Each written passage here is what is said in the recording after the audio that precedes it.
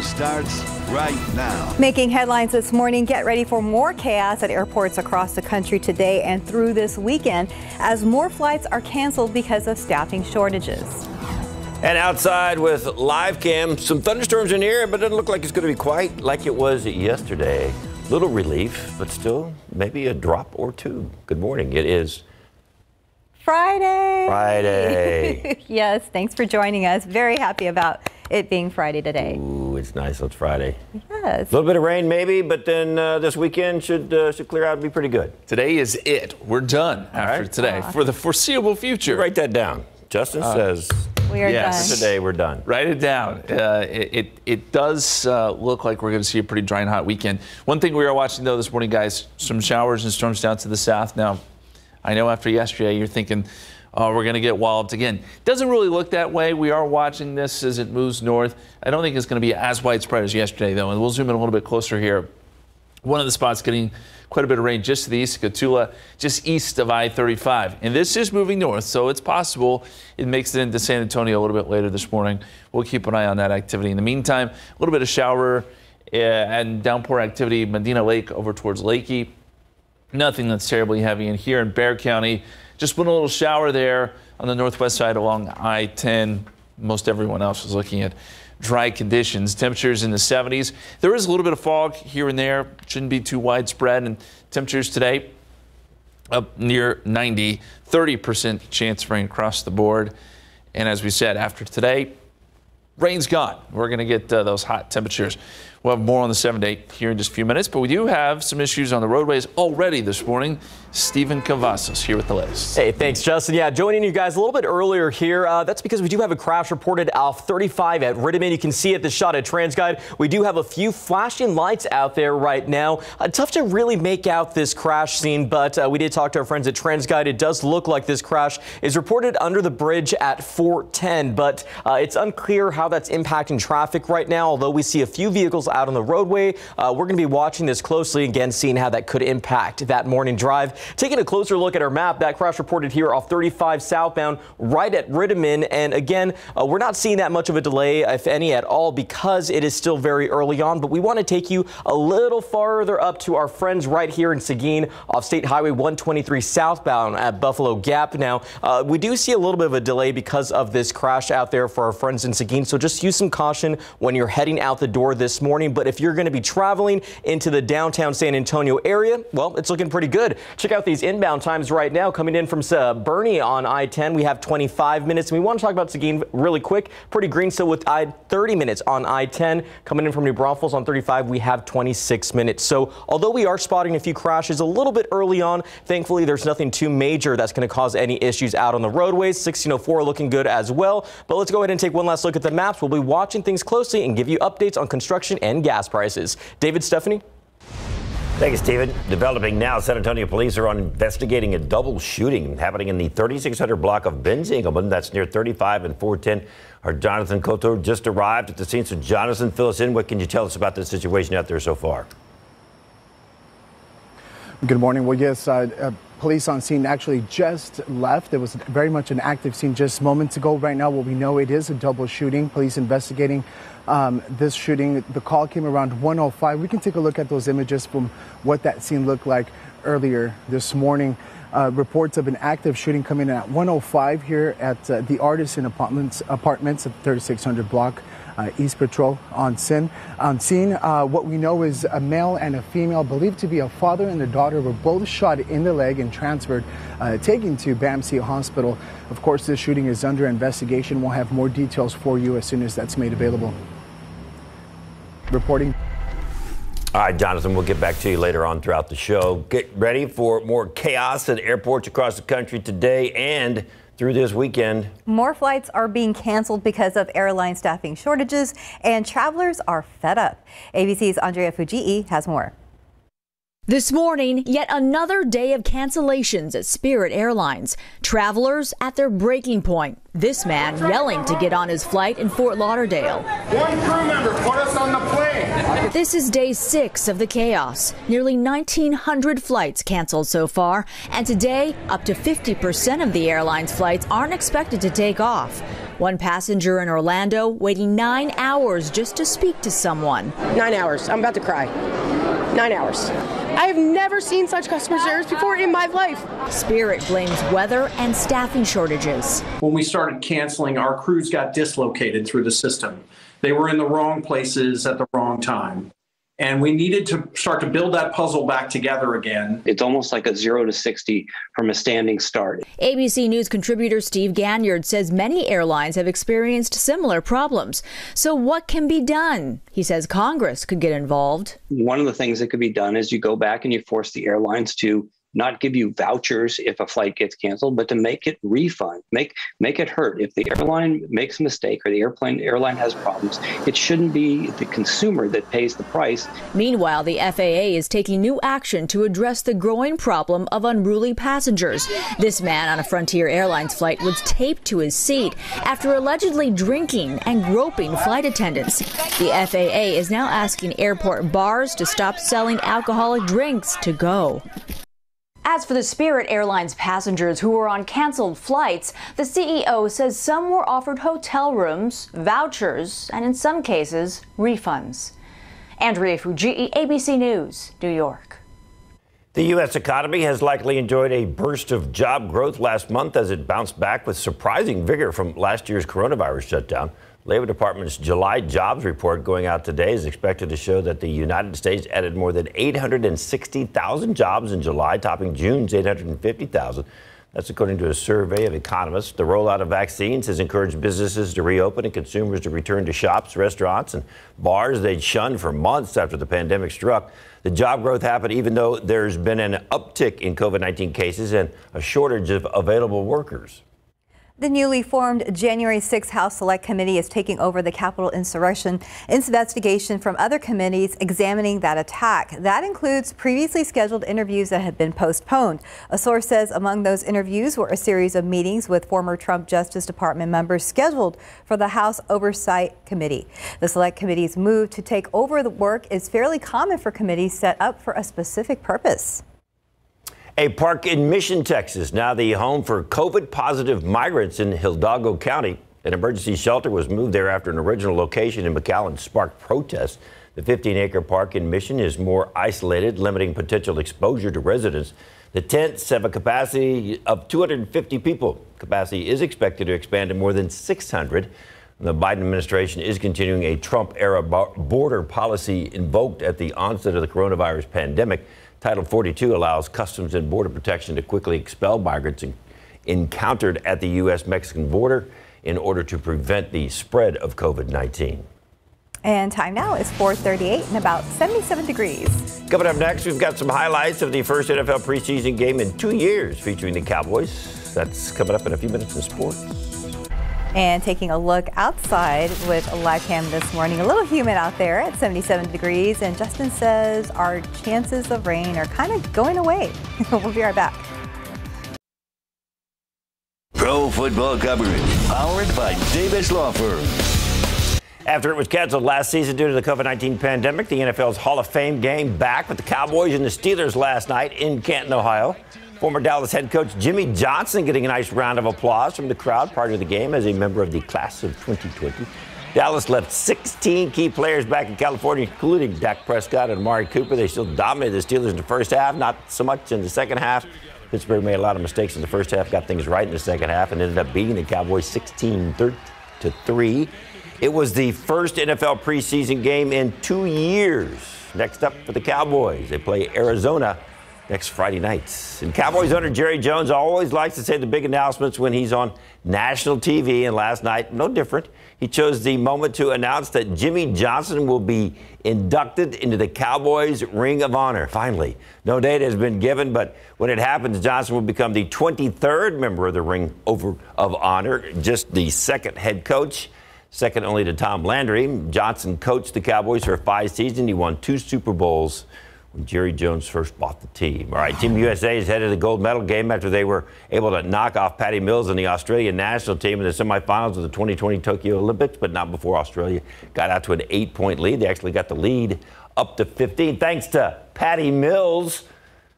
Yeah, but in the second quarter, Team USA staged their comeback led by Kevin Durant with 23 points total. Devin Booker had 20. The Americans went on a 15 2 run there in the second half. Booker scored eight of the Team's USA 15 points. They ended up holding on and they ended up winning 97 to 70. Sorry, Patty. But you're not a Spur anymore anyway, so you know. Aww. But we still love Patty Mills. of course we do. Here's a look at the medal count so far. USA still leading in the overall medal count with 92 medals. China's second with 75, but China has four more gold than the USA with 34 to 30. So, and then there's Britain and Japan bringing up the rear. So, dominating in the Olympics as usual. All right, now to some San Antonio Missions baseball. They got more runs on the board last night following their win against Corpus Christi Wednesday, but the hooks were just too much for the Missions last night, so they, you know, would they ended that three-game losing streak yesterday or the other day? No, mm, not again. Well, there we go again. Seven-five is the final. So the series continues tonight against the hooks. All right. So, Better luck tonight. There you go. Yeah. Like that. Time now, 443 and about 77 degrees. Coming up next, minivan mania. Why minivans have moved back to the top of the market. Welcome back. It's about 446. So minivans are making a major comeback. ABC's Becky Worley has the details in today's GMA First Look.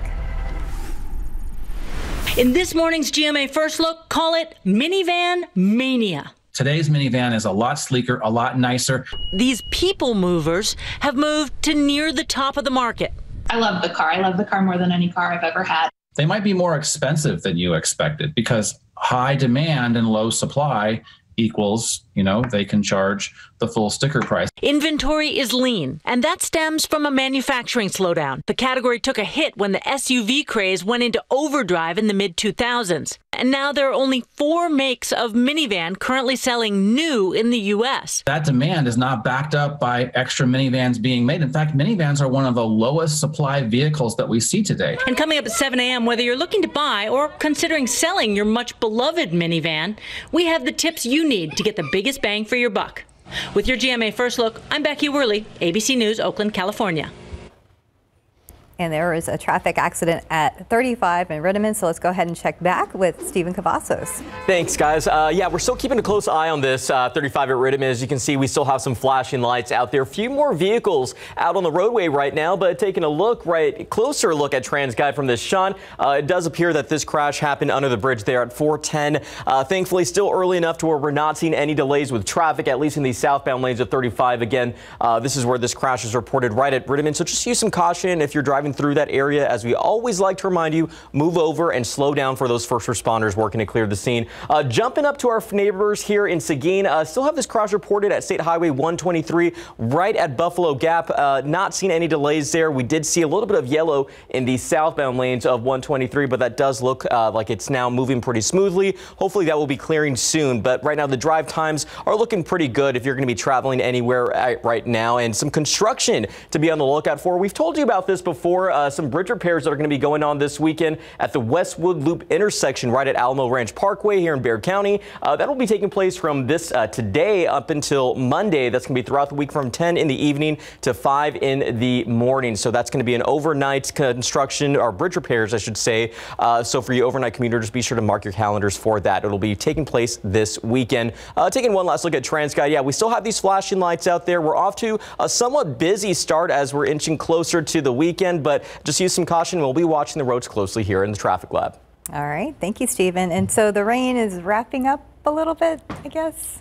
A little bit. A little bit. After today, after today, okay. we'll say we'll say goodbye to the rainfall. It was uh, it was nice to see yesterday. We got some good numbers around South Texas. Uh, Stinson over two inches. Southern parts of Bexar County really made out well with uh, yesterday's showers and storms. There were some bigger numbers down around Carrizo Springs, although there at the uh, airport only 1.42 inches reported. So in between some of these sites, there were some bigger numbers, but in general, one to two inches uh, as that uh, rain moved through.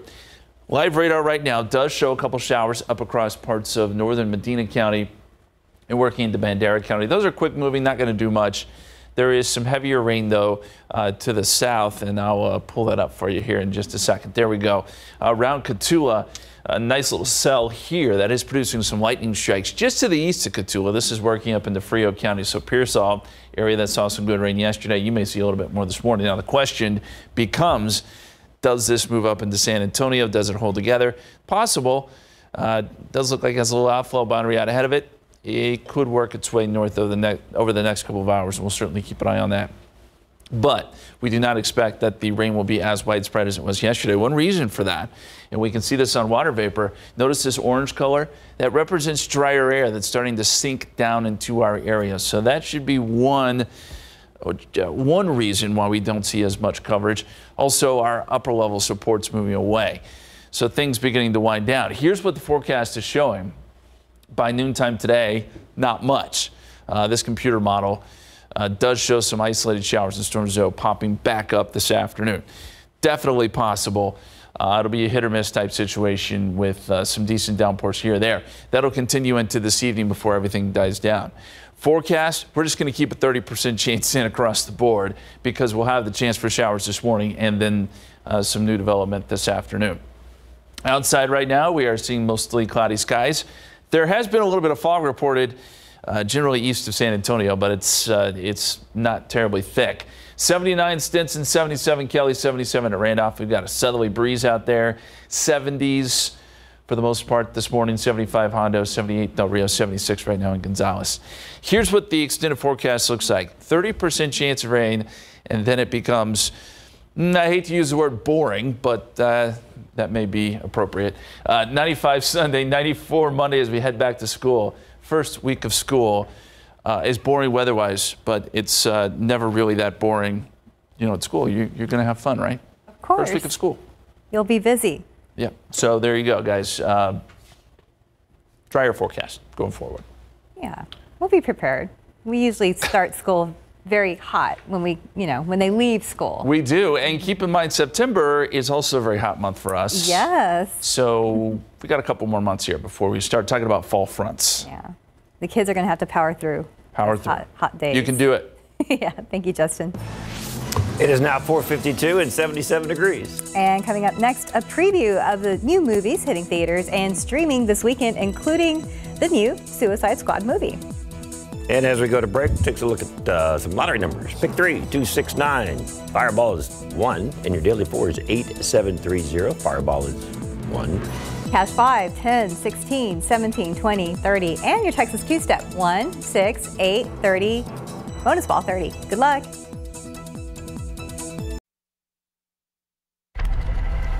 Welcome back, 455. The new Suicide Squad film finally opens in theaters this weekend. For the latest on what's happening in Hollywood, here's ABC's Jason Nathanson.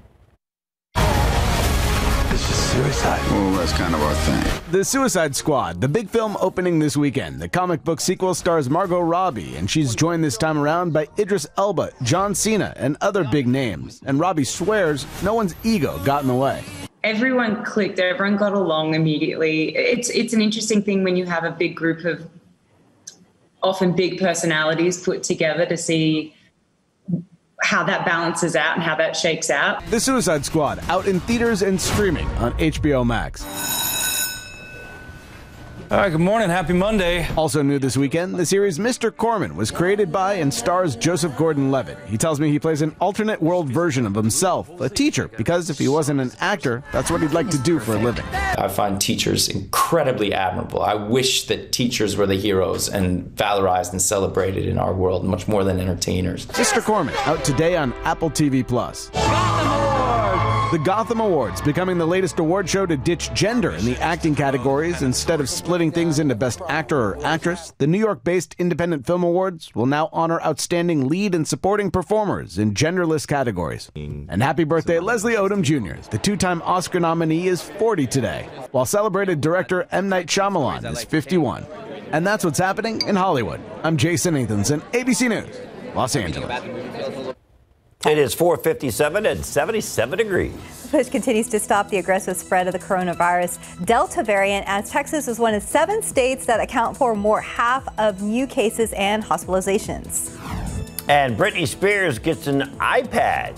That's a leading tech headline today. Yeah, we've got the details ahead of Tech Bites. You thought this was going to be a boring Friday. And taking a look outside with TransGuide, we're looking at I-10 in Frio, 410 in San Pedro, and Stephen had been tracking an accident off of 35 in Rittiman. We'll be checking in with him after the break.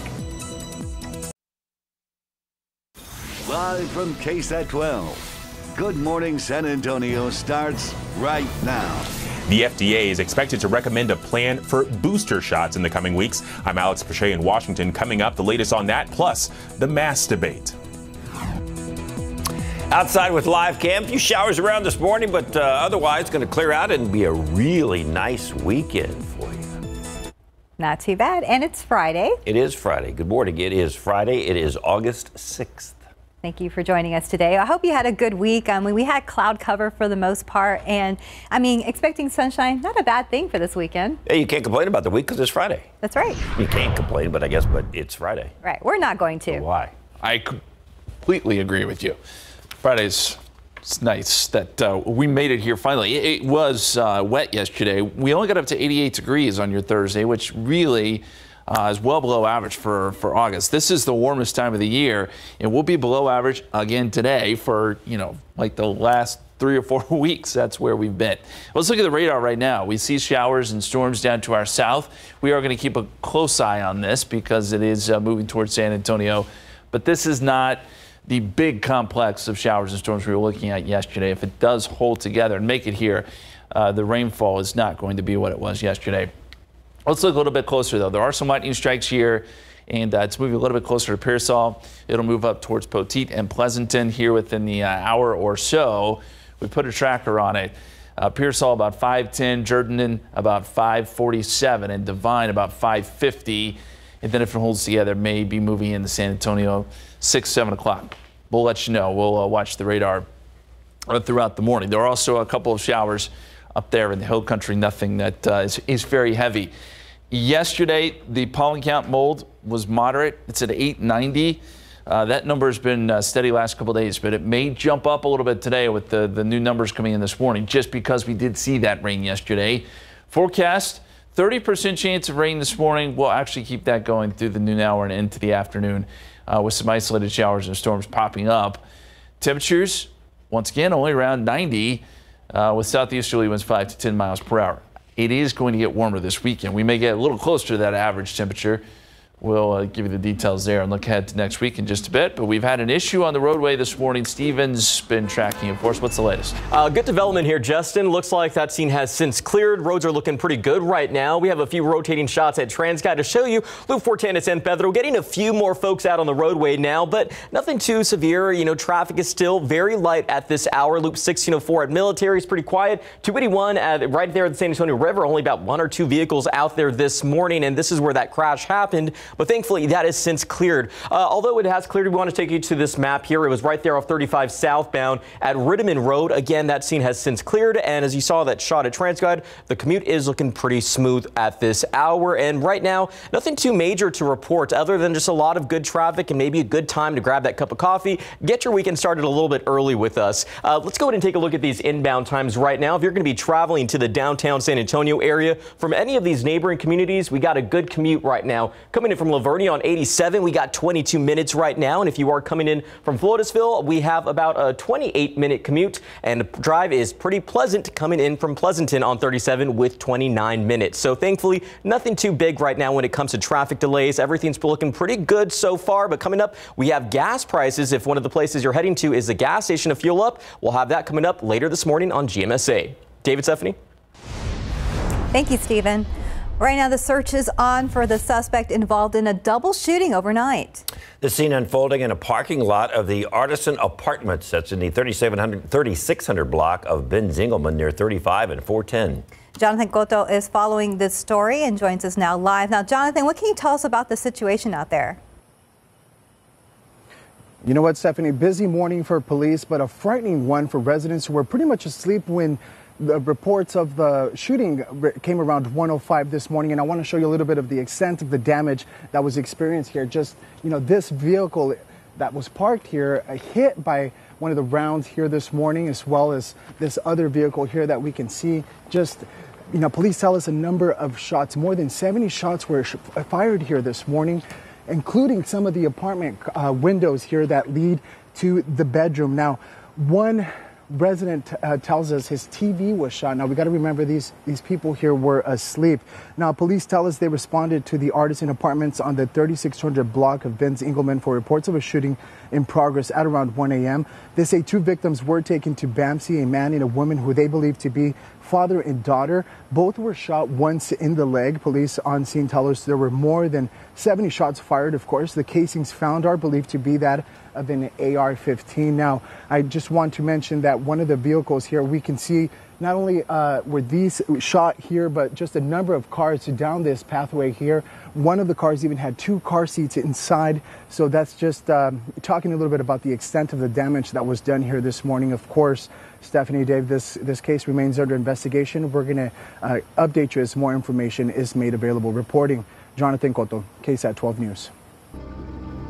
Thank you, Jonathan. After four weeks, all eyes will be on the Otis McKane trial today as it resumes this morning with closing arguments. During day six of the punishment phase yesterday, a psychiatrist took the stand.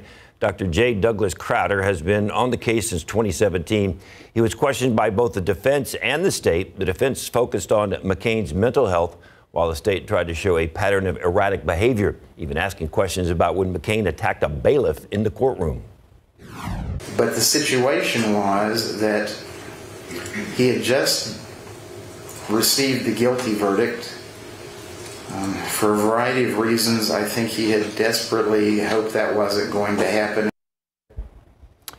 After the closing arguments this morning, it will be up to the jury to deliberate. Their options are life without parole or the death penalty. The trial resumes at 9 a.m. this morning. You, as always, you can watch it as it happens via live stream on our website at ksat.com. This morning, the FDA's plan for booster shots for at risk populations could be ready within weeks. Meanwhile, the debate over masking at school to protect children too young to be vaccinated continues. ABC's Alex Perez has the latest from Washington. This morning, with cases of the Delta variant surging across the country, massive crowds rolled into Sturgis, South Dakota. 700,000 people are expected for the annual motorcycle rally. Last year's gathering was deemed a super spreader event. In Wisconsin, the state fair is underway. Masks were recommended, though few were seen in the crowd. It feels good. I got my shot, so I'm okay, I hope.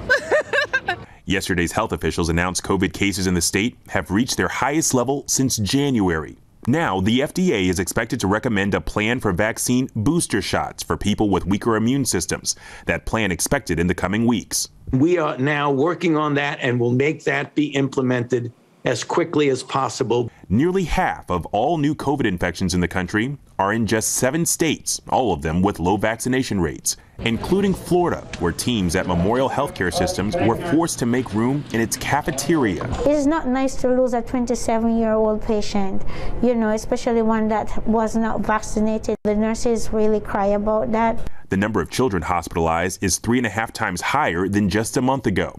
In Houston, an 11 month old baby battling COVID had to be airlifted to a hospital 150 miles away because there wasn't a bed available.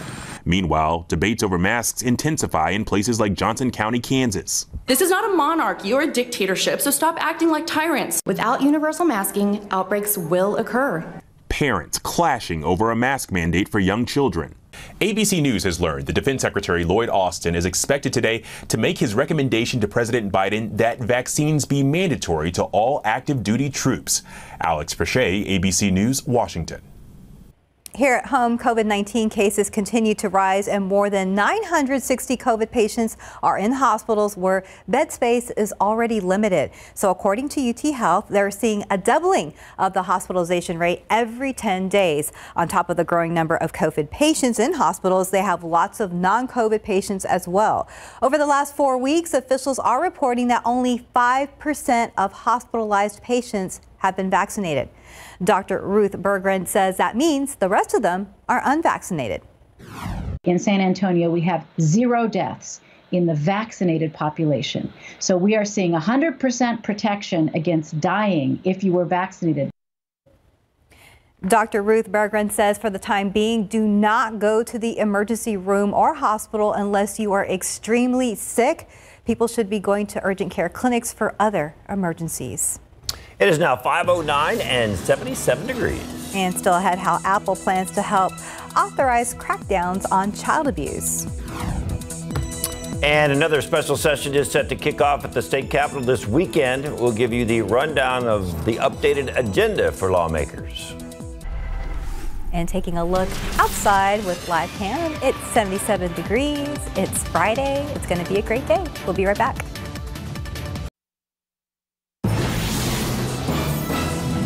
Welcome back. 13 minutes after 5 o'clock. Governor Greg Abbott calling another special session to try to pass a Republican backed voting bill. The new session begins at noon tomorrow and now has an expanded agenda. So among the 17 items, it includes the voting bill and other carryovers like the transgender youth sports ban. They will also take up the issue of federal COVID relief funds that includes legislation that would keep mask wearing and COVID-19 vaccinations voluntary in public schools amid this pandemic. The governor already issued an executive order to that effect, but this proposal would become state law if passed. To see the full agenda, just go to ksat.com. And time now, it's 514 and about 77 degrees out there. Still coming up later on this morning, how Apple plans to scan U.S. iPhones for images of child abuse. Also, can you believe this is news? Here's oh Britney Spears announces that she finally owns an iPad. Well, maybe it's it's an interesting one. Stop the presses. Details next. Truthfully, it's frustrating to see how fast dust reappears. But dusting with a cloth is a pain. And dealing with a bulky vacuum is such a hassle. Ugh. So now we use our Swiffer sweeper and dusters. The fluffy fibers, they pick up dust easily, wrapping it in all those hard to reach places. Gotcha. And for our floors, Sweeper's textured cloths lock all kinds of dirt, dust, and pet hair. Unlike my vacuum, it sneaks under and around places. Look at that. Dust free and hassle free. Stop cleaning, start Swiffering. For asthma, there's Primatene Mist. When symptoms strike, your airways narrow and there's less breathing room. Primatene Mist is clinically shown to open airways quickly. Get the number one FDA approved over the counter asthma inhaler and breathe easy again. Okay, everyone. Our mission is to provide complete balanced nutrition for strength and energy. Ensure with 27 vitamins and minerals. Now introducing Ensure Complete with 30 grams of protein. In today's Tech Bites, Apple raising new privacy concerns. The company's new software will allow Apple to detect images of child abuse that are stored on Apple devices. Now, some critics calling it bulk surveillance, but experts say the software only scans for photos already documented. What they're doing is they're making mathematical algorithms so that they can actually match these photos up. So yes, they're scanning photos in a way, but not in the way where they're looking at they're they're actually looking at photos. Apple says there's a one in a trillion chance of an image being incorrectly flagged. Richard Branson's Virgin Galactic has reopened ticket sales to the edge of space. The cheapest ticket costs $450,000. And a first for Britney Spears. She now owns her first iPad. The pop star says getting her own tablet was a groundbreaking day. And wait until she downloads the ABC News Live app. Those are your tech bites. The ABC News Live Live app. Live app. Wait, what about the KSAT app? Yeah. I know. That's what Britney needs to be watching because we, so. we run stories about her all the time. Yeah, you, you should tell her. You should tell her definitely. Let's go ahead and check in with Stephen Cavazos. You know, she want to know what the traffic is. Yeah, know what the she would, and she's not just stronger than she was yesterday. She's also more tech savvy as well. Now that yeah, she has an iPad, I get it. was waiting to use that one for all our Britney fans out there this morning. 281 at Hildebrand. Everything's looking pretty good right now. 1604 Military and Grayson. We're seeing a few vehicles out on the roadways right now. This may not impact Britney Spears' drive time, but we see just a few flashing lights out there. And for you at home, just use some caution because we did spot a few issues out there on the road this morning. But we want to take you up to our friends in Seguin here off State Highway 123 southbound at Buffalo Gap. Now, I did check the Seguin Police Department's Facebook page. They did report a crash out there a few hours earlier that actually took out a stoplight. Uh, we placed this as an incident right now because uh, they were actually placing temporary stop signs in that area, TxDOT crews that is. And so they're going to be out there for a little while making sure those stop signs are in place. So use some caution if you drive through State Highway 123. Uh, but taking a look right now at the the wider scope of our area, it is pretty green. And if one of the places you're going to be heading to is the gas station, well, we have these gas prices according to AAA. The average gas price in Bexar County is 279 and around the state, we're looking at 284 and around the country 318. And this is actually up three more cents than what we initially reported a few days ago. So just something to keep on your uh, your, your radar there if you're going to be heading to the gas station. I luckily filled up already, so I don't have to worry about that anytime soon. Uh, but taking one last look at TransGuide, pretty smooth so far, getting a few more people out on the roadways, but we're watching things closely. And I'm glad you filled up already, Stephen. Yeah, it's a first awesome. for me. Be- yeah, at the, the end, end, of the, week. week. yes. So you saved three cents a gallon. Yeah, three more cents than what we saw initially, though. And you oh. got it done. So yeah, that's good. So how many gallons did you get? I got a full tank. I'll say that. So, uh, how, much, I, how, much, money did you save then at three cents a gallon? Uh, well, you I, know, I was interested. let me go. he was able to buy coffee. I was able to get coffee. Yes. there you go. The most expensive coffee or a little cheaper? okay. Yeah, you know, as long as we're caffeinated here at GMSA, that's all that matters. Where are we going with this? I don't know. No. David and his math at 5:20 in the morning. Yeah. No. No. So no. if you had, if you got 10 gallons at three cents a gallon, save a whopping 30 cents. Right? Still save. I gotta. I, I gotta pull out a calculator now. Well, go ahead, Justin. Take it away, man. Do some weather. Well, you, know what, you know what Mother Nature is saying at this point? What? Oops, I did it again. Oh, hey, that was a good one. Wow. Oh, man. because uh, now we have more rain on the radar. Uh, th- this little area here is working north along I 35. It may work into San Antonio a little bit later this morning, but this is not the weather we were looking at yesterday. So maybe Mother Nature really isn't doing it again. It's not going to be uh, the widespread rain. Let's zoom in a little bit closer, though, and uh, take a look at Frio, Atascosa counties. This is where this is moving, starting to die down just a little bit. We're seeing less lightning with this, and so that tells me there's an overall weakening pattern here. But places like Pearsall, Poteet, Pleasanton, you could get some rain out of this, and we'll see if it holds together here in San Antonio. But so far, the morning commute has been a dry one. There are a couple showers, or were a couple showers in the hill country. Those have gone away. And here in San Antonio, not much to see. This ground clutter here, so quiet conditions, just mostly cloudy at this hour. Uh, let's take a look at the water vapor, and I mentioned this earlier. Uh, we see some drier air starting to move in in the mid levels of the atmosphere. Our storm system is moving away. So those two factors are going to limit our rain today. And I think it's probably just some isolated activity, but it will be there. And as we look at the forecast models, a little bit of shower activity this morning, and then by the afternoon, some more should pop up with the heating of the day. That'll last into, until this evening and then die down tonight. Forecast, we'll call for about a 30% chance of rain. We'll go ahead and just uh, put it across the board here. Temperatures close to 90 for a high. Southeasterly winds 5 to 10 and probably partly cloudy this afternoon. 77 and cloudy at this hour and a lot of places in the 70s. A little bit of patchy fog cannot be ruled out, but it hasn't been terribly thick this morning. And very quickly, Let's check in on the tropics once again. That system we talked about yesterday, just off the coast of Africa, now it is looking really good. And the Hurricane Center thinks there's a 70% chance of development within the next five days. Another little wave has a small chance of development. This could be Fred over the next couple days if we were to get a named storm. Extended forecast. There's our chance of rain today. After that, nothing. Uh, it gets dry this weekend and hot. Temperatures will be very consistent going into next week, guys. That was pretty good. Are you done? Do you have another one? Uh, no. Not right now. So- I have to think about it. Baby, one more time. You don't want to do it again? You, got it You too. win, David. That's a good one. No, I, no, yours was, yours, I Our- looked that one up. Yours was right off the top of your Our head. so Britney that's good Spears fans right here. She's going to be getting that KSAT app before it's all over. We'll keep talking I about think her. so. Time now, 523 and 77 degrees. Still ahead in your morning spotlight, as if we hadn't had enough from the stars. Clint Eastwood returns, plus a Ariana Grande and Justin Bieber frontline workers for raising money for him. That's a good thing. We'll have that for you coming up. This macho thing is overrated. Just people trying to be macho, show that they've got grit. That's about all they end up with. Here's your first look at Clint Eastwood in Cry Macho as a former rodeo star who agrees to bring his old boss's son home from Mexico. Eastwood also directed the drama, which debuts in theaters and on HBO Max on September 17th.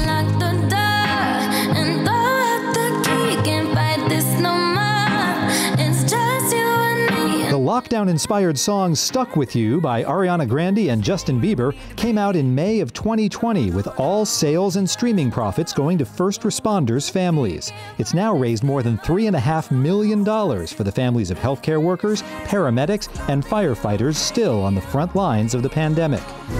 There's nothing like your smiling face and your warm embrace. 77 year old reggae legend Jimmy Cliff has his own lockdown inspired song out for Jamaican Independence Day. Human Touch, his first new music in almost a decade, praises social media and Skype for keeping us connected, but declares no technology can replace seeing people in person. In Hollywood, I'm David Daniel.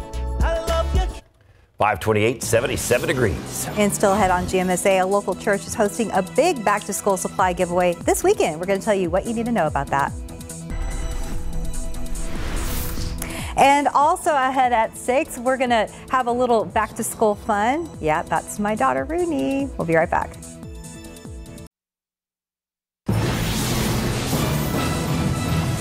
Making headlines this morning, the Food and Drug Administration weighs the option of possible COVID 19 booster, but not everyone agrees it'll work. And taking a look outside with live cam this morning, we're at 77 degrees.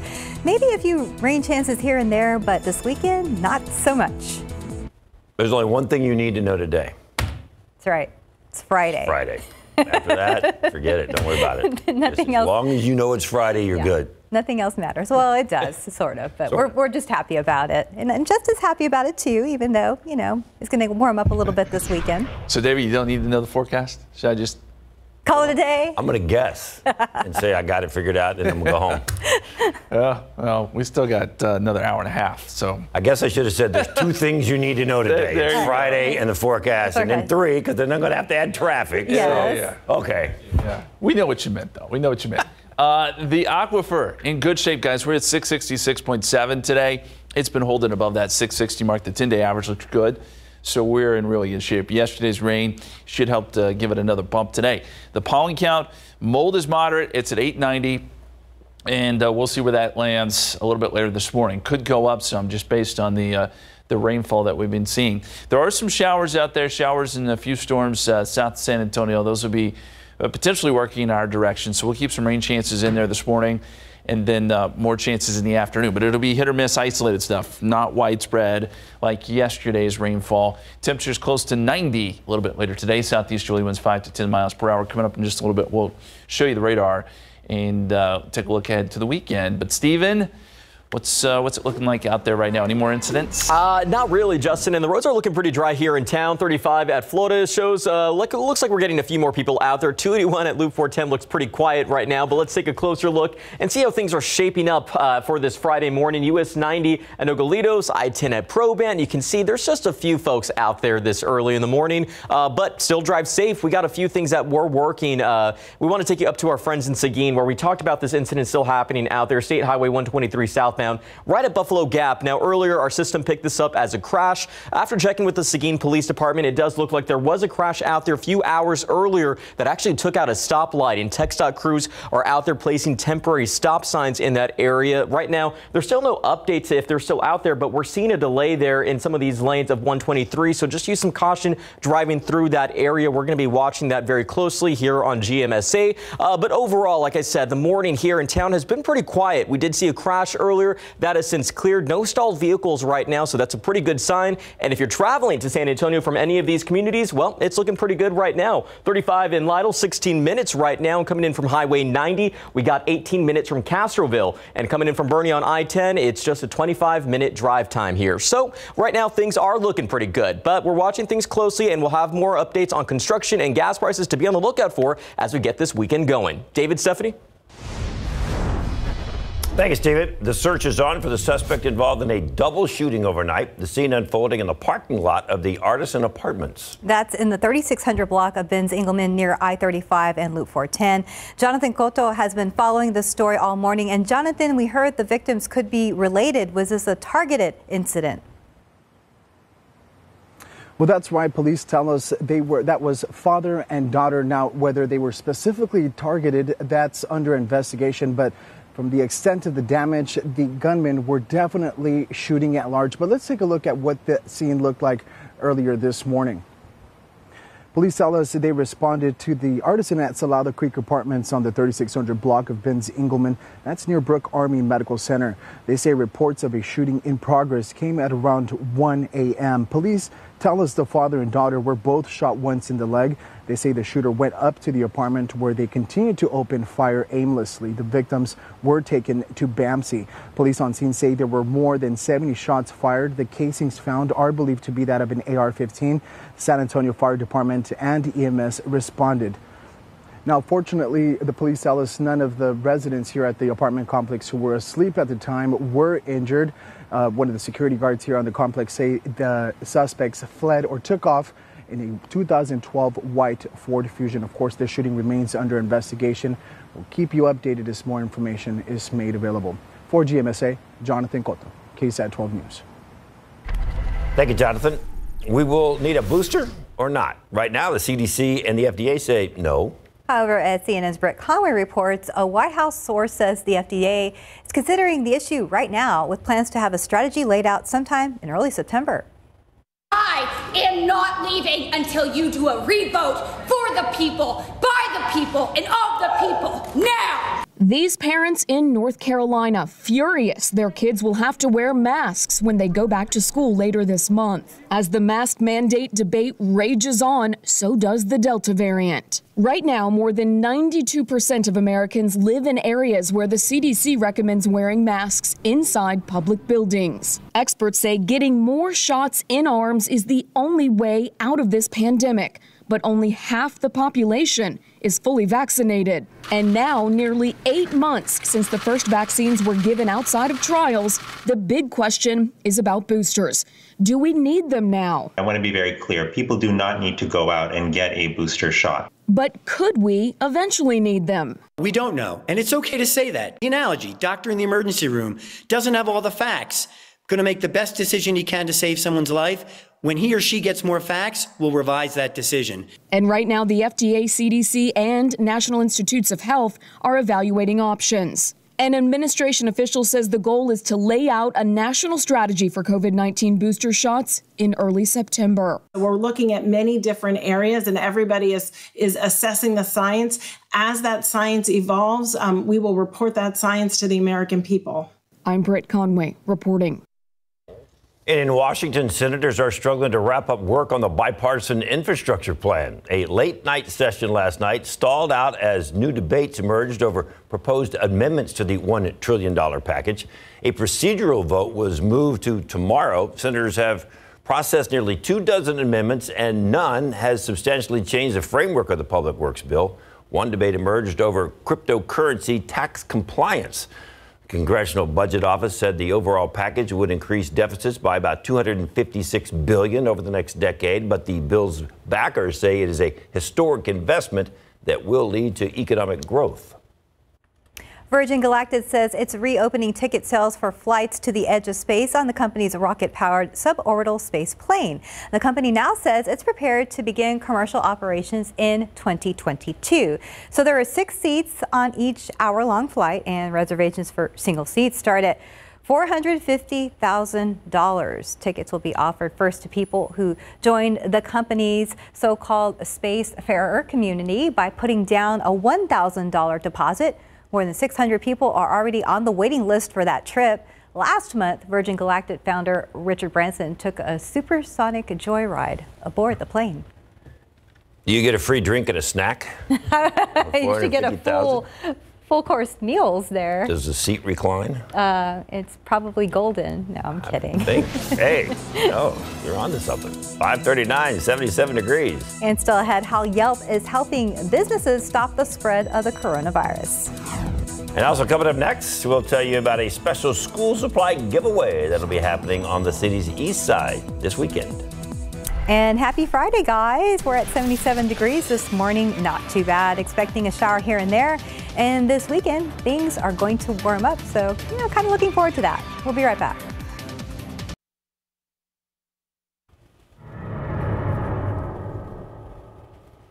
It is not something a lot of children want to think about right now, going back to I won't say it.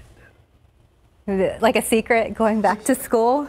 Maybe it won't hurt as bad. it's okay. A lot of people are excited still. But members of an East Side church are making sure they have everything they need when they do go back to school. So they've been gathering school supplies, everything from crayons to backpacks. And this weekend, the Greater Faith Institutional Church plans to give it all away. Not everyone in this area might have the means or the needs to ha- get school supplies. So I think it's a very beneficial resource. The body of Christ is a resource, and, it, and the church of God should be a house of resources. So that's what we um, intend to be. Not just school supplies, they're also going to have some fun and some food. So that's a good thing. So, yes, and you're all right. There's a lot of kids excited about getting back to school. Yes. The giveaway is tomorrow from 11 until 2 in the afternoon, and that church is located at 3514 Martin Luther King Drive. And some kids might be feeling a little anxious about going back to school. Mary Beth Fisk with the Ecumenical Center says the look for signs like loss of sleep, not eating well, loss of energy, sadness, or reluctance to just go to school. Kids have been out of school for a bit and their social skills might be a little rusty. Don't try to necessarily rescue them out of every situation. Help them to build up their own skills so they can cope in uh, these times where there is stress, because that will certainly serve them well in life. So, one thing she says you need to do is make sure your home is as stress free as possible. Signs of anxiety may develop after the children begin school, so stay alert Kids reflect the feelings of those around them, so if you're stressed, they will probably be stressed as well. Yeah, sometimes. As if there's not enough stress in the world. Exactly. Don't lay it on your kids. I know. I, I try to hide that from, you know, my little Rooney. one. Yeah, I can say that right now because she's asleep. It's okay. Time now, 544 and 77 degrees right That's now. That's how you deal with stress. You take a nap. and next, how Yelp is helping business that require proof of COVID vaccinations from customers. And welcome back. It's about 547. In your morning consumer headlines, Yelp has added a new feature that lets businesses list whether they require proof of COVID vaccination from customers and whether all workers are fully vaccinated. So Yelp users can then filter their searches for businesses by those attributes. Only businesses themselves can add the attributes to their Yelp page. Now, Yelp says it will monitor the pages of businesses that decide to use that for any backlash for their vaccination policies. It says they will protect them from reviews that primarily criticize the COVID health safety measures they enforce. Drought across America, large parts of North America slicing into wheat production. The U.S. and Canada grow more than half the world's wheat, and farmers are getting ready for a sharply smaller spring harvest. The U.S. harvest is expected to be down more than 40% from a year ago. And time now is 548. Time to check in with Stephen Cavazos to see how things are looking out there. I think we got a good start to this Friday. You know, we actually, I should say, we started off pretty busy with a few crashes uh, reported on our maps and TxDOT, but things are looking pretty good right now. Here at Loop 410 at San Pedro, you can see we're getting a few more people out on the roadways, even here at 35 at Topperwein. Uh, looking like it's getting a little bit busier, but still traffic is moving nice and smooth at this hour. Uh, we do want to bring your attention to the map. As you can see here, there's not really a lot going on. It's looking pretty green, uh, reflected here in a lot of these roadways. 35, 410, everything's looking pretty smooth at this hour. But as I always like to mention, when more people get out on the roads, that's when we really start to see those issues popping up. So just be sure to drive safe this morning. And throughout the weekend, there's going to be a few constructions uh, happening. Uh, we want to bring your attention here to lane closures happening off 281 northbound in north central San Antonio. There to be some beam settings going on out there. It'll be taking place from Evans Road to TPC Parkway. Again, that's going to be going going on this weekend from August 7th up until August 8th. It's going to be overnight from 7 in the evening to 7 in the morning. So something for you overnight commuters to be aware of. But right now things are pretty dry on the roadways, looking pretty good so far, I dare say. And we're going to keep a close watch here as the morning does get going, guys. That's great for Friday morning. Thank you. I think so. That's exciting, is what that is, because Yeah. that's one step closer to getting all that construction done there on Highway 281. Oh, yeah. So we're pumped, true. man. We need Put up that. I've been seeing it too, so. They were putting them up this morning. Yep.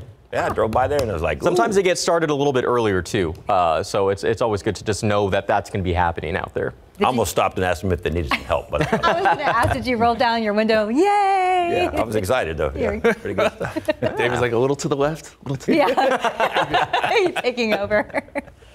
That's nice. That's cute behind you. Uh, beautiful picture. Yeah, I, I, this is from yesterday evening. Uh, Lancet 37 sent this in. It says what colors? I see a snail, right? You guys see that? It's just I do see the snail. Uh huh. Yeah. Where? You- right there- there. there Oh, okay, showed there it is. ya. is. Yeah, You gotta look for shapes in the clouds. Yeah, Got it. I do too. Oh yeah, yeah, yeah. Okay. Appreciate it. But I like the color definitely. How fast is the snail moving? Very slow. Very slow. Uh, 7.45 inches of rain since June 1st at the airport. That's above average. Uh, since January 1st, 22.62 inches. That's above average. 2021 has uh, been pretty good to us rainfall wise, better than last year for sure. And uh, we've still got some rain out there on the radar. Notice that, that we are tracking some showers and storms now moving into Atascosa County. These started way down there south of Cotulla if you're watching us at 4:30. So they've been on the move this morning sort of a broken line, if you will, working at I-37 and I-35. Now, they're moving into more uh, more stable atmosphere, so I would expect there will be some weakening with this. But it's possible they can hold together as they uh, move towards San Antonio off to the north and east. Certainly places like Poteet, Pleasanton, Jourdanton, you're going to get some of this rain. Uh, probably within the hour. Pearsall, few showers for you. The bulk of the heavy rain has missed you to the east places like Devine to keep an eye out for a little bit of rain this morning. Nothing here in San Antonio, though. Things are dry for now. And a few showers and some pop up storms will be possible this afternoon. Here's the bigger picture. And uh, what you'll notice is that our area of lift, our upper level low, is moving away, moving away from South Texas. So that's taking a lot of the lift with it. Things are a little bit more stable. Uh, with that being said, there's still enough moisture in the atmosphere with the heating of the day that we should get some showers and storms. And really, any time during the day today, I can't rule out a downpour. Uh, it's just going to be a hit or miss type situation, about a 30% chance of rain. And uh, looking at the forecast, 30% across the board. That's what we're going to go with. Yesterday, we only got up to 88. I think today, probably low 90s. And from here on out, you're going to see a lot of 90s on the seven day forecast. Outside, mostly cloudy, 77 at the airport. Still 79 down there at Stinson, but dropping to 75 at Kelly. And temperatures 72 Boerne Stage, 70 in Comfort. Uh, no 60s on the map this morning, so it's a, it's a muggy, warm start. A little bit of fog in some spots too, but shouldn't be much of an issue. Extended forecast. We'll go 94 tomorrow, 95 Sunday. Hot, dry weekend. Back to school, mid 90s all next week. It'll be shorts for the kiddos as they head off to school, uh, probably through about September. We won't be talking about uh, long sleeves or jackets till I don't know, November, December, maybe. Just depends. But uh, we typically don't get our first kind of strong front until sometime in October, typically. Yeah. Yeah. I mean- Deal with mid 90s. That's not bad. Yeah. Could be worse. That's true. We've Could been be worse. Very lucky this year. Mm-hmm. Thanks, Justin. It is 552 and 76 degrees. DC's Suicide Squad has a new team leader, one who's known for uniting ragtag groups of heroes. So we're going to get a behind the scenes look coming up.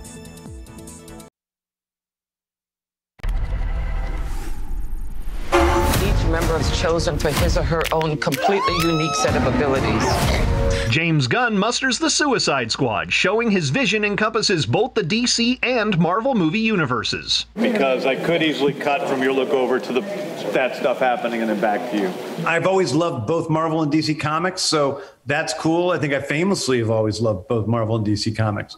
Um, but I think what is it seems just crazy to me, and I'm so grateful for, is the ability to make big, huge movies that have my stamp on them, that are James Gunn movies first and foremost, and Marvel and DC movies second. Hey guys, sorry I'm late. Margot Robbie's Harley Quinn is joined by a few new faces. It hadn't actually been that long since I'd played her. We we had wrapped Birds of Prey not that long before we started shooting this. So I kind of found her quite quickly, but with every new director that I get to explore Harley with, they gravitate towards different characteristics, and then I get to have a different sort of journey and explorations. Peacemaker's so broken.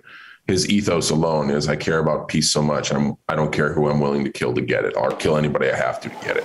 It's such an ultimate contradiction right away. It was surreal for me. I've spent my life like just fascinated with superheroes and what they represented, what they could be, and I just love comic books. And so the first day that I put on the costume and I stood in front of a mirror, um, it was a very powerful moment for me. I'm a superhero! In Hollywood, I'm Rick Damigella. And coming up in the next hour of GMSA, could COVID booster shots be on the horizon? We'll have the latest on the growing number of coronavirus cases across the country.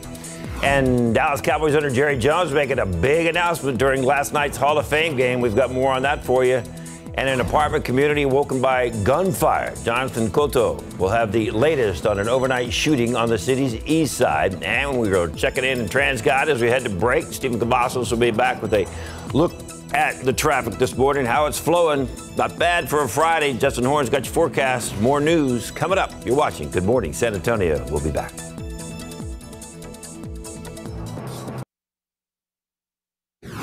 Police investigating a shooting that's left a father and a daughter hospitalized. Details on this case coming up next. All eyes on the trial of Otis McKane. Closing arguments expected later this morning. We've got the latest. And taking a look outside with live cam, beautiful shot there. A little humid. We're at 76 degrees, but still not too bad. Live from KSAT 12. Good morning, San Antonio starts right now. And good morning. It is Friday. It's August 6th. Thanks for joining us. Happy Friday. Hope you had a great weekend. Looking forward probably to a great weekend as well, but it will be a little warm, is what I understand. Mm-hmm. Mm-hmm. Yes, uh, a warm, dry, lots of sun. In fact, I think tomorrow it'll probably be sunny all afternoon. So good pool weather, good lake weather, yep. good beach weather. Fit it in because school's start. About to start, that's not right. That, not that you can't go swimming when school starts, but it's a little more difficult. Uh, let's look at the uh, live radar. We've got some showers and storms out there right now, stretching from Pearsall down to Beeville and Rockport. Kind of a broken line here. This is lifting north, but sort of weakening as it does. Still, uh, we could see a few showers here in San Antonio a couple of hours from now. This is working its way through Atascosa County right now. At the moment, we've got uh, dry conditions, though, here in town. Still some dry road roadways, as Stephen will show you here in just a second. 78 Canyon Lake, 77 New Braunfels, 76 Seguin, 74 in Devine. Lots of cloud cover this morning. Maybe a little bit of fog, but we haven't seen a whole lot of that. Uh, if we do, it's not going to be very thick. About a 30% chance of rain uh, all day long. We'll keep it going uh, this morning through noontime and into the afternoon. Even this evening, there's a chance for some pop up downpours. After tonight, though, the rain's gone and temperatures will start to crank up a little bit more. Today, 90 your high temperature this afternoon. Okay, let's check in with Stephen now and find out what's going out uh, going on out on the roadways. Uh, hey, thanks, Justin. You know, we were seeing some flashing lights here at 35 at Topperwein, uh, right there in this shot at TransGuide. Just moments when you were tossing over here to us. It does look like that has since cleared out. Uh, but let's go ahead and take a closer look at this shot and see what's really going on out there. Actually, we do still see some flashing lights out there. Looks like there could be a stalled vehicle. Uh, there was some flashing lights, so that could have been one of TxDOT's hero trucks that was out there assisting that driver, but uh, not sure what lane this is happening in. TxDOT has not reported this on their page. 35 at Topperwein Road, so use some caution out there if you're driving through the Live Oak area. But let's go ahead and jump over to another stall we're seeing that looks like it has since cleared from our system. Loop 1604 southbound at Shaenfield Road. There was a stalled vehicle out there, and now that the morning's really getting going, that's when, again, we start to see these issues. Be sure to check those cars before getting out on the roadways, but right now, looking pretty quiet. Uh, we did have a few crashes earlier that have since cleared out, so the roads are looking pretty good, uh, but definitely getting a little bit busier. Right now, uh, again, lane closures, just to remind you of, again, just Beam said settings that will be going on throughout the weekend. Saturday, August 7th up until Sunday, August 8th from 7 in the evening to 7 in the morning. David said he spotted them working out there a little bit earlier out 281 northbound in North Central. Just be cautious out there and be sure to be kind to our TxDOT crews who, of course, are working to improve those road conditions out there. But bringing it back here to 35 at Topperwein, be cautious and check those vehicles. We'll watch the roads closely and have an update coming up here on KSAT G GMSA. It's Friday. David, Stephanie. It is Friday. Thank you, Stephen. We have late breaking news on the north side of town. San Antonio police are investigating a shooting there. Katrina Weber is live where it's happening in the 200 block of El Monte near San Pedro. So, what do you know so far, Katrina? Well, we know that a man was shot, but beyond that, not a whole lot. And the reason is because police don't have a lot of information. Now, they found the man here just before 5:30 in the middle of the street. They say they also found a single shell casing, uh, so they believe he was shot here. In fact, a neighbor told us she heard what sounded like two gunshots just before 5:30. Uh, she says she also heard someone yelling and then a car go speeding away. Police say that the victim in this case uh, was shot in his upper body in the belly area. He was taken to a hospital by ambulance. We saw it as it left here. Uh, but they say beyond that, he's not being exactly cooperative. Uh, they believe that he might know something more about who shot him, but not willing to say that.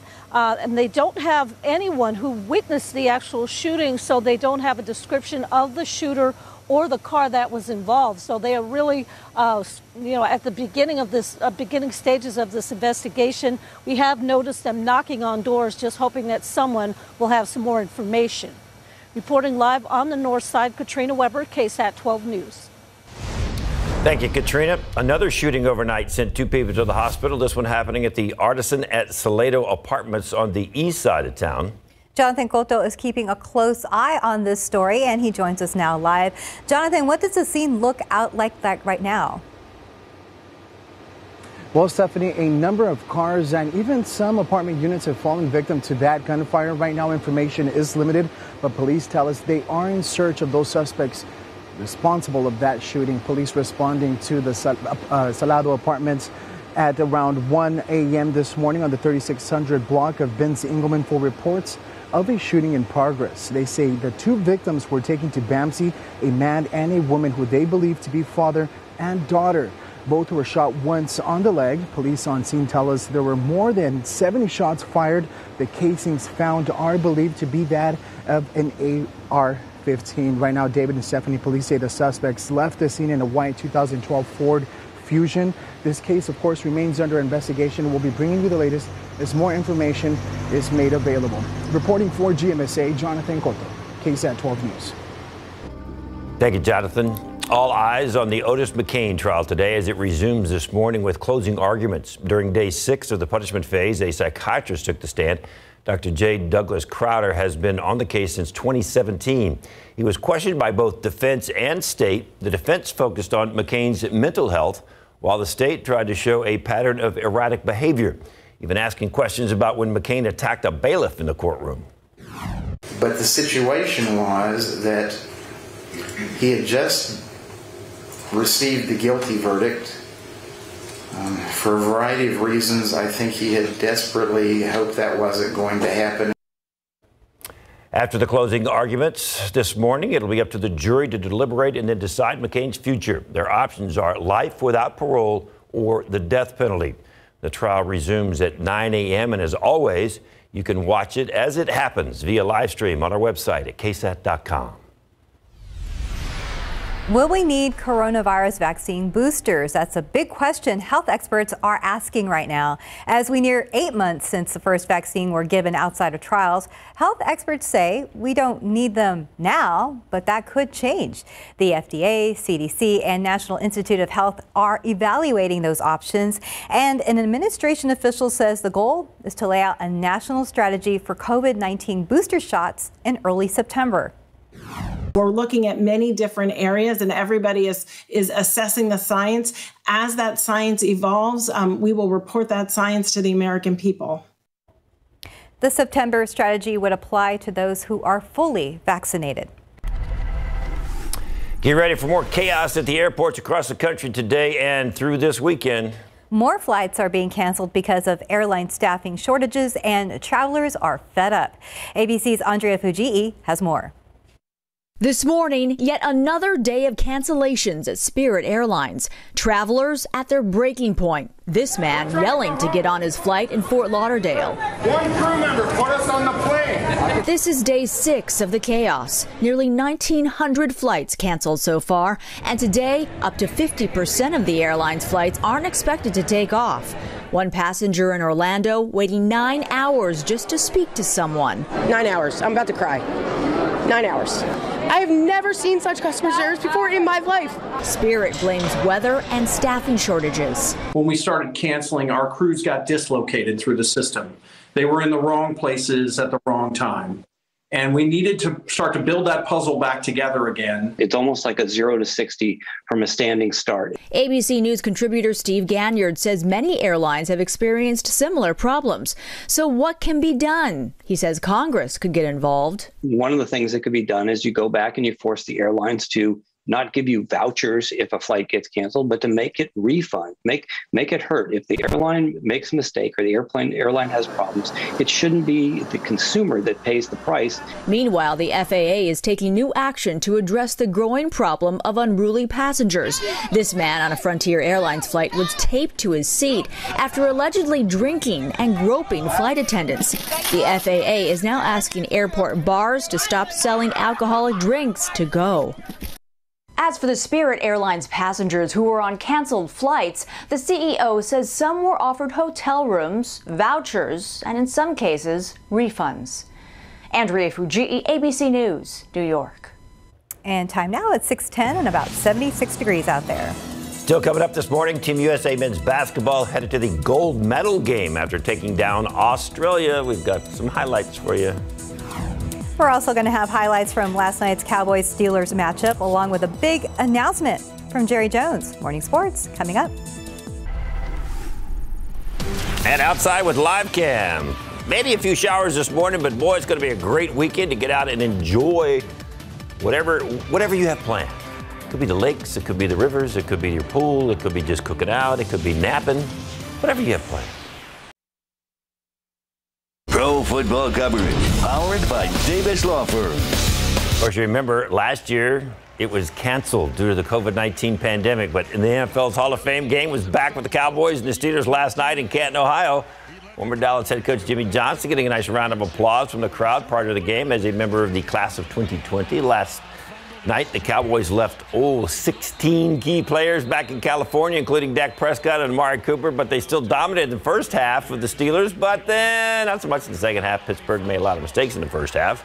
They got things turned around in the second half and ended up beating the Cowboys 16 to 3. It was the first NFL preseason game in two years. So next up for Dallas, they play Arizona next Friday night.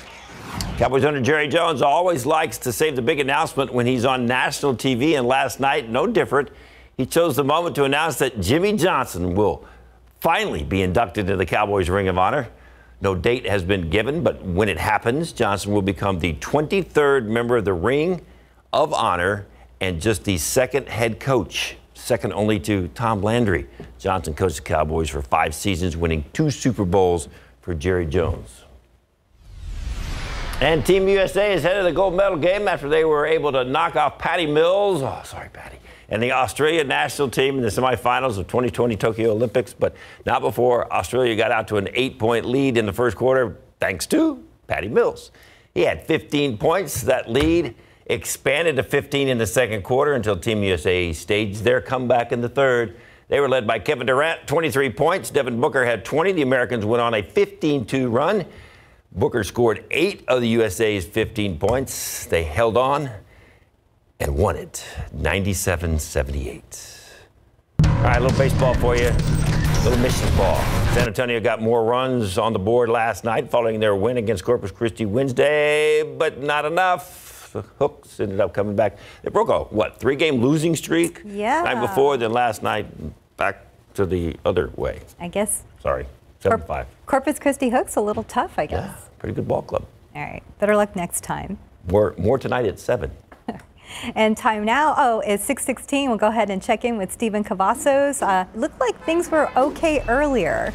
Yeah, I would still say overall they're they're pretty okay. We're seeing a few more vehicles here at the shot at 35 at Topperwein, but uh, take a look right now on your screen. We do have a stalled vehicle out here in one of these lanes at 35. Now, TxDOT has not reported exactly which lane that we're seeing this in, but uh, this is right now seems to be a trending issue, and we usually start to see more of these stalled vehicles as the morning really gets going here. So just use some caution. Now, this is not the only stalled vehicle we've spotted so far. Uh, we have one that's actually been reported here off I-10 eastbound at Fresno Road. Uh, we had one earlier off Loop 1604 that has since cleared out, but right now the morning has been pretty smooth. A few crashes earlier that have since cleared out. The map is showing right now it's a good time to get out, grab that cup of coffee, get your weekend started early with us. Uh, let's go ahead and take a look at our inbound times if you're going to be traveling into the San Antonio area. I forgot to show this to you guys a little bit earlier, but right now this is looking pretty green if you're going to be heading out here in the next few minutes. Uh, coming in from any of these locations, we'll start here from Bulverde on 281, 26 minutes right now. We talked about some construction going on out there in 281 throughout the weekend. 26 minutes uh, coming in from 35 in New Braunfels and Seguin pretty green with 29 minutes on I-10. Uh, taking one last look here at TransGuide. Yeah, definitely getting a little bit busier for our morning commute, but Justin, I'm looking forward to the weekend. My pineapple floaties ready. I got my sunblock. I, lots to look forward to, I'm hearing. I'd say so. I mean, it's going to be good pool weather both Saturday oh, and Sunday. Nice. Temperatures will be hot. You'll be good to go. In fact, it may be for the next several weekends. You may be good to go the way it's looking. We're moving into more of a summer-like pattern. Uh, yesterday, though, that was not the case. Uh, we had good rainfall stretching from Eagle Pass south to Carrizo Springs and Crystal City, all the way up into San Antonio.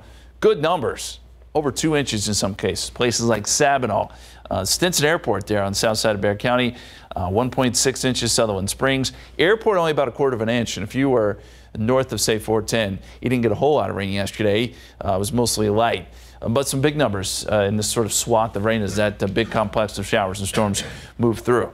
This morning, we are still seeing some activity on the radar, uh, some showers and storms that uh, are developing down there in Atascosa County. These are moving off to the north and east. There isn't much lightning with this, so they aren't terribly electrical, but they will continue to move in the direction of Bexar County. Can't guarantee we'll get a ton of rain out of that, uh, but uh, there is the possibility of some showers a little bit later this morning. We're also detecting uh, one little shower here in northwestern parts of the county, just northwest of Helotes that's a pretty quick mover. But another look at some of this activity down here across Atascosa County. This is moving a little bit closer to Pleasanton and Jourdanton, and uh, also seeing some uh, activity right along I-37. So there will be some wet roads down there.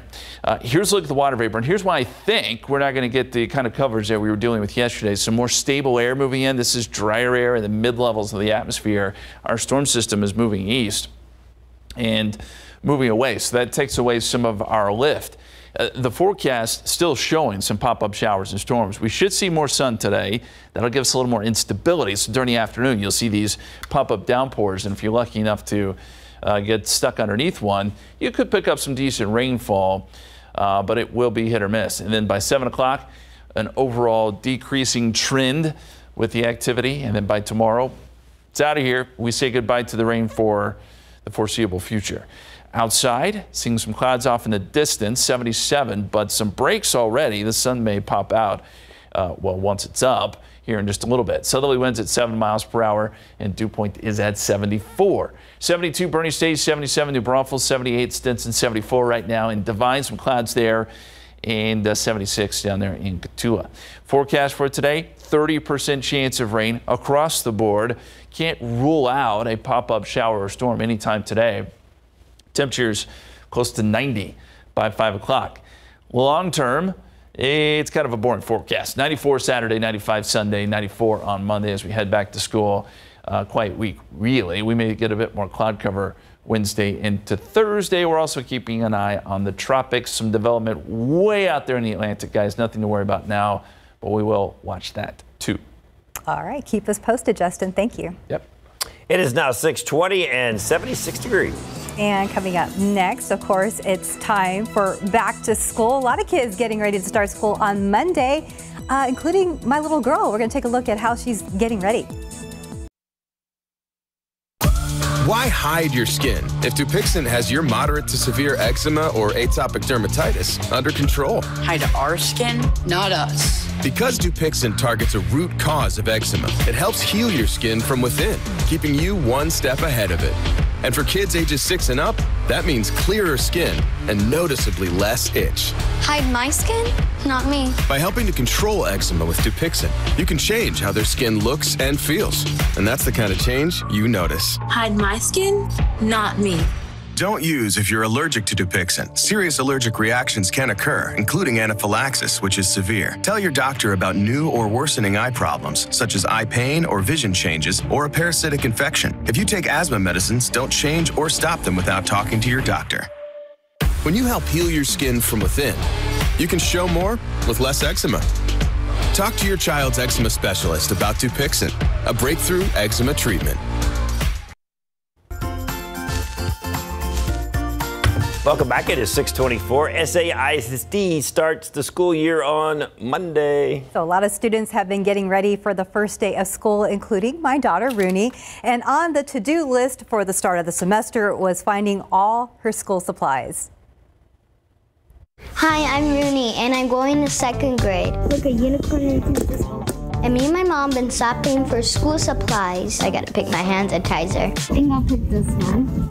Panda is my favorite animal. You know how cute they are. You wanna cuddle with them. And here they are. My panda, my notebooks, Baby Yoda. Yep, I like Baby Yoda. Of course. Cutest. And also our headphones, of course. Pinky, huh? Go back. You see this girl right there? And these? They're enjoying these headphones. And pencils. And you need erasers just in case too. Colors, of course. Now we have post-it. You, I don't know what these are for, but I'm sure they're for good use. Have fun with your school supplies, and maybe I'll see you at school. I forgot. Have a good school year. Bye.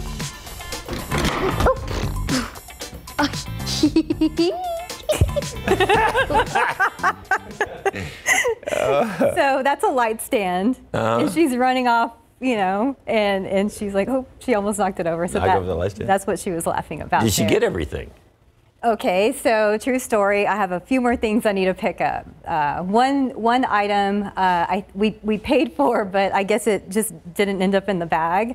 Uh, so I yeah, so I reordered that. It was I was a you know pack of glue sticks and a couple more notebooks. But yeah, I mean you know uh, it's it's a list. We got to keep track of it.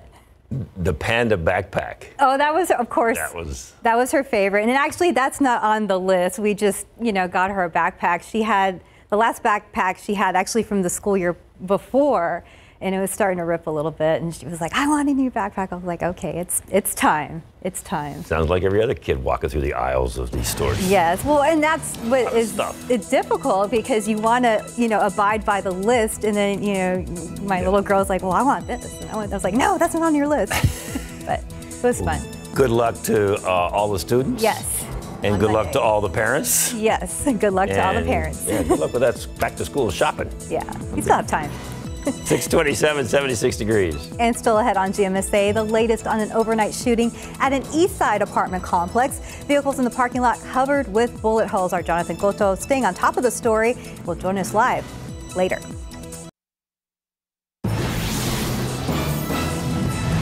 Police say they have more questions than answers in connection with the shooting that happened here on the north side this morning. Good morning, I'm Katrina Weber. I'll tell you what they know so far. This morning, Apple making moves to fight sexual predators, but their latest decision is raising privacy concerns among iPhone users. Details coming up. Plus, San Antonio police trying to figure out what led up to an overnight shooting or this was just a random act of violence. We have the very latest. And outside with live cam, we got a little bit south, southwest of San Antonio, rain wise, but not much. And then it's going to clear up and be a really nice weekend. Justin Moore's got that for you coming up. Hi, good morning. Happy Friday. Oh, it's Friday. Best news I've heard all day. Yeah, it's great Friday. news. It's good stuff. And the fact that it's going to be a great weekend. So I'll Yeah. throw that That's in there as great news, too. Everybody can, you know, go on with their weekend plans. Fist pump. Friday. Yeah.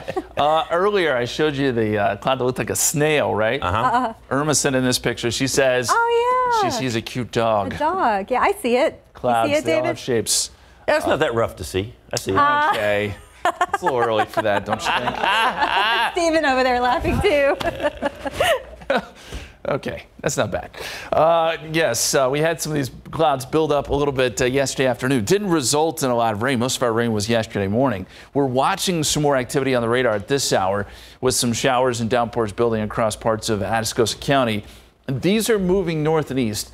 And the current trajectory, I think, will probably take them away from San Antonio, but there could be a little bit of an outflow boundary there. We'll see. Some of these showers could work into southern Bexar County, but at the moment, I think the heavy rain uh, probably stays here across uh, parts of Atascosa County.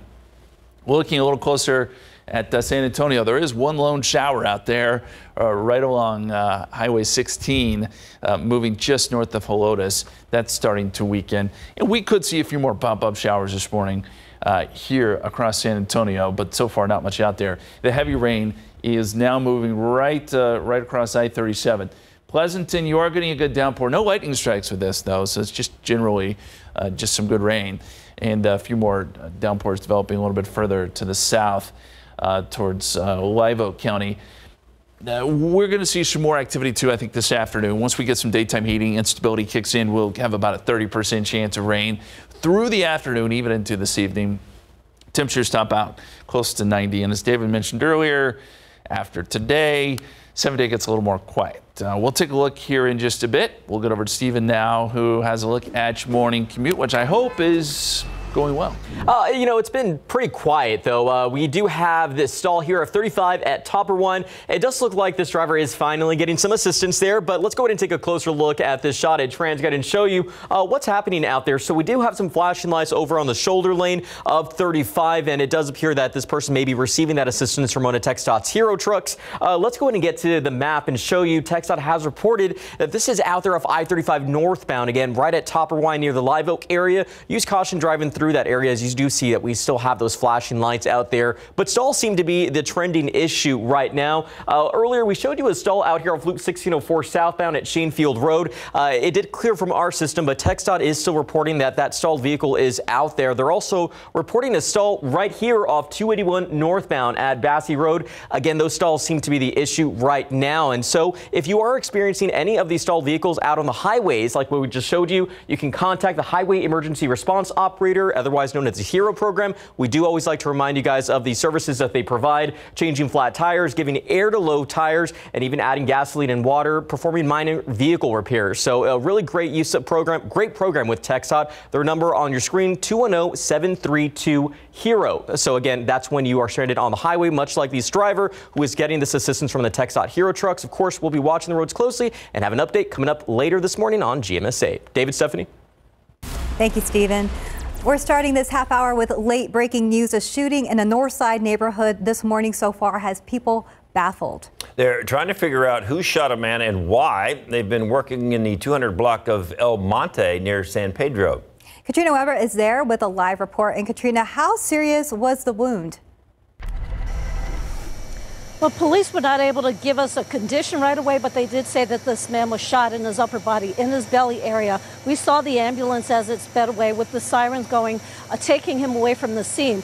Police found him here uh, in the 200 block of El Monte. They say they also found a single shell casing there in the middle of the street. Let me give you a look at the video uh, from earlier this morning. This was about an hour ago when police actually got the call right before 5:30. Uh, they say that they were told that there was a man in the street who was yelling, who uh, said he had been shot.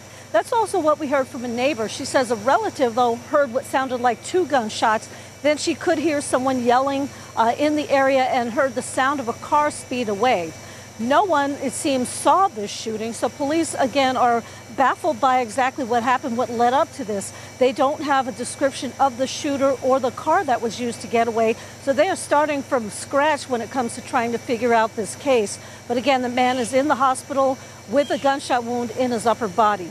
Reporting live on the north side, Katrina Weber, KSAT 12 News. Thank you, Katrina. Police also searching for the suspect in another overnight shooting. This one happening at the Artisan Apartments on the east side. That's in the 3600 block of Binz-Engleman near 35 and 410. Investigators tell us a father and daughter were shot and taken to the hospital. Several vehicles were also damaged in the gunfire. More than 70 shots were fired. Also new this morning, San Antonio police asking questions following an overnight shooting. This happened last night just before 11 in the 4600 block of Avenida Prima Street on the city's northeast side. Now that's where officers say they found a man in his 30s with a gunshot wound to the leg. He was taken to BAMC and is expected to be okay. According to police, that man claims he was randomly shot while he was driving by Eisenhower Road. But investigators believe there is more to that story. Now to the latest on the pandemic here at home. COVID 19 cases continue to rise, and more than 960 COVID patients are in hospitals where bed space is already limited. According to UT Health, they're seeing a doubling of the hospitalization rate every 10 days. On top of the growing number of COVID patients in hospitals, they also have a lot of COVID patients, non COVID patients as well. Over the last four weeks, only 5% of hospitalized patients have been vaccinated. In San Antonio, we have zero deaths in the vaccinated population. So we are seeing 100% protection against dying if you were vaccinated. Dr. Ruth Berggren is urging people not to go to the emergency rooms or hospitals unless you are extremely sick. People should be going to urgent care clinics for other emergencies. And new guidance from the Texas Education Agency, the TEA saying remote learning can be offered to a student who tests positive for COVID 19 or is in close contact to a person who has COVID. Student testing can be done at the schools with a parent's permission. The TEA says based on last year's low transmission data, schools will not have to contact trace, but positive cases will need to be reported to health officials. The TEA says vaccinated individuals will not be considered close contacts. It is something that some students want to think about, others really don't want to think about. Going back to school. That's right. However, members of an East Side church are making sure they have everything they need. They've been gathering school supplies, everything from crayons to backpacks, and this weekend, the Greater Faith Institutional Church plans to give it all away. Not everyone in this area might have the means or the needs to get school supplies. So I think it's a very beneficial resource. The body of Christ is a resource. And, it, and the church of God should be a house of resources. So that's what we um, intend to be. So at the big giveaway, they're going to have the school supplies, but they're also going to have some food and some fun activities. The giveaway is tomorrow. That's happening from 11 a.m. until 2 in the afternoon. The church is located at 3514 Martin Luther King Drive. Now to a big decision by Apple that's raising new privacy questions among iPhone users. The company is planning to scan all iPhones for images of child pornography, and it's explaining how it will do that. ABC's Mona Kosar Abdi has the details. This morning, Apple's latest attempt to fight sexual predators online is raising concern among some privacy advocates. There is some concern to be had here, no doubt. Apple says it's rolling out a new software update this fall that will allow the company to detect images of sexual abuse that are stored on Apple devices and the cloud. Some critics calling it bulk surveillance of Apple devices. But experts say the software uses a matching technique which scans for photos already documented by the National Center for Missing and Exploited Children. And what they're doing is they're making mathematical algorithms so that they can actually match these photos up. So yes, they're scanning photos in a way, but not in the way where they're looking at they're they're actually looking at photos. According to Apple, even the company can't see what's being scanned until something is determined illegal. And the company says there's a one in a trillion chance of an image being incorrectly flagged. I think the intention is good. Uh, like most companies, I think we as consumers need to keep our eye on it carefully. But I feel that based on the technology and how they're going about this, I think that the benefit outweighs the risk for now. Mona Kosar Abdi, ABC News, New York. 640, 76 degrees. Kids are getting ready to head back to that classroom, but did you know the number of kids interested in learning at home is growing rapidly? Ahead on GMSA, we're going to hear from one family who chose the homeschooling route.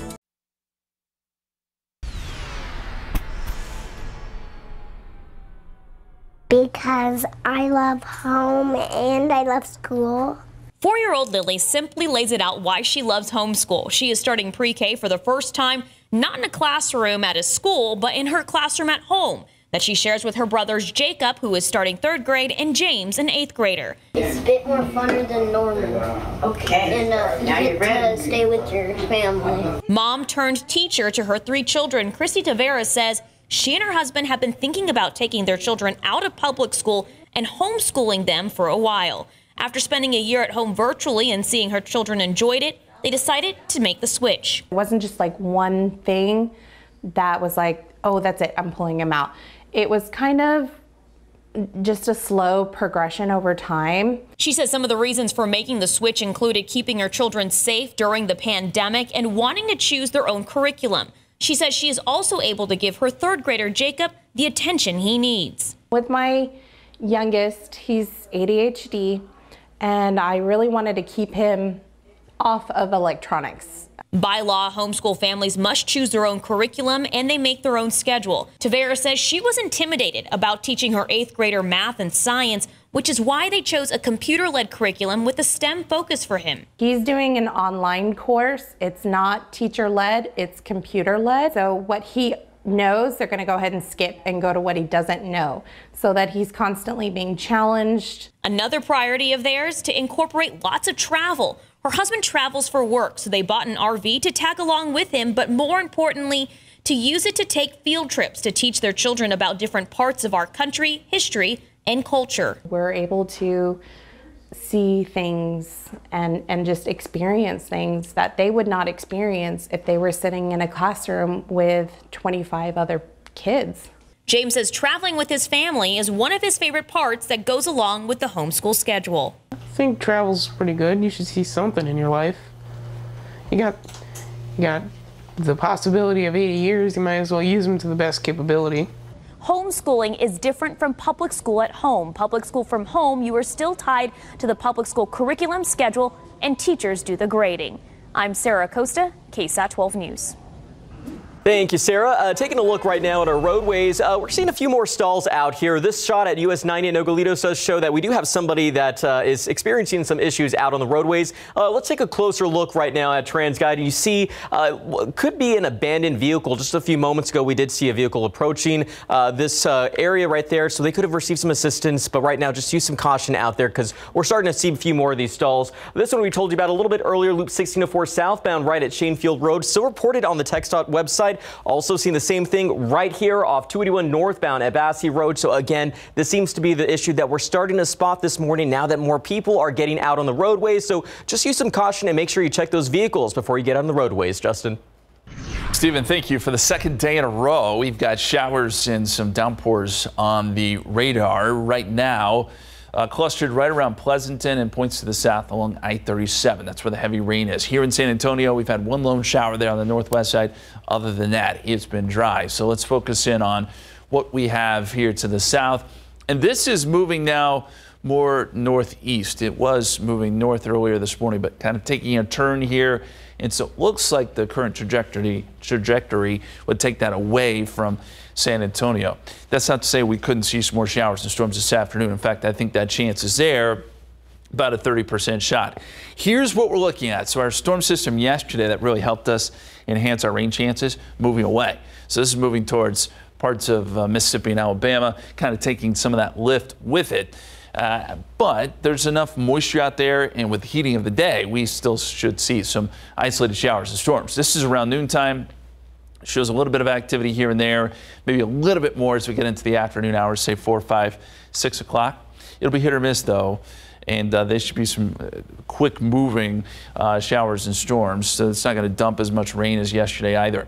Uh, looking outside, we've got partly cloudy skies now 77 at the airport, 78 Stinson, 75 Kelly, 75 at Randolph, and temperatures are in the 70s this morning uh, pretty much area wide. With more sun today, you can bet that temperatures will also be warmer this afternoon. We're thinking highs right around 90 with a 30% chance of rain here across the board. Partly cloudy skies during the afternoon.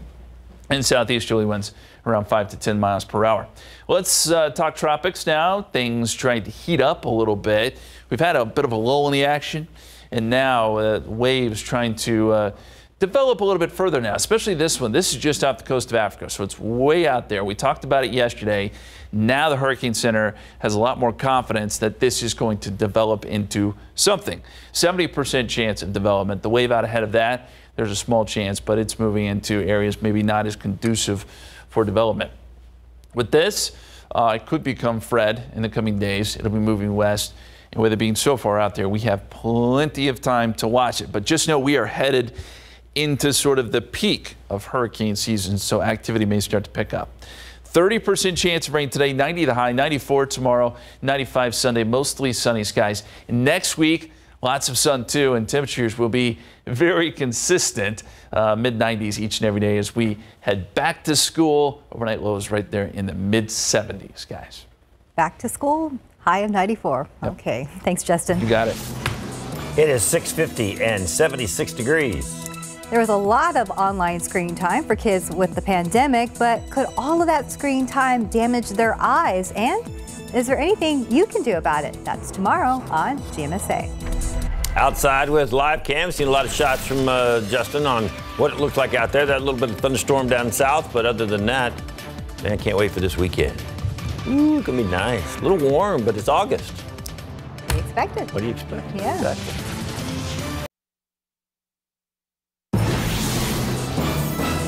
Good morning. Coming up on GMA, the latest on the pandemic as the U.S. hits 100,000 new COVID cases in a single day. Lack of staff stretching hospitals thin. Multiple states now calling for federal assistance. This morning, we're learning more about booster shots.